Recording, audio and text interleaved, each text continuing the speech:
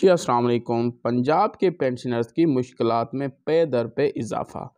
पहले leave encashment की वजह से इस साल रिटायर होने वाले मुलाजमीन को माली नुकसान पहुँचा और अब हकूमत पंजाब ने एक और स्टेप उठाया है, जिसके मुताबिक पेंशनर्स को वफाक की तर्ज पर साढ़े सत्रह फ़ीसद इजाफा नहीं मिलेगा। जी हाँ तफसीलात से आपको आगाह करते चलें कि तनख्वाहों और पेंशन में इजाफे की जो समरी वज़ी अला पंजाब ने मंजूर करके वापस फाइनेंस डिवीज़न भेजी है, उसमें लिखा है कि the increase in the pension at seventeen point five percent shall not be admissible to those pensioners who retire on or after one eight two thousand twenty three.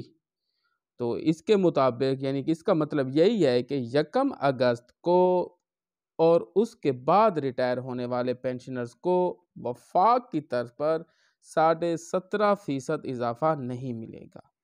इस कंडीशन की वजह से नए रिटायर होने वाले मुलाजमीन को माली नुकसान पहुंचेगा।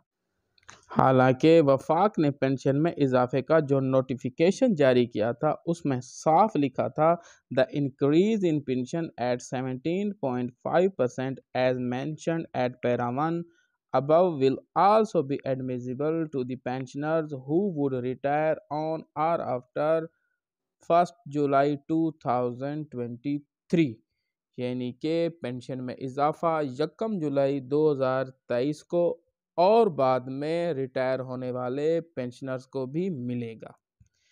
इस तरह लीव इनकेशमेंट के बाद, इस साल यकम अगस्त के बाद रिटायर होने वाले मुलाजमीन को ये दूसरा बड़ा माली नुकसान है।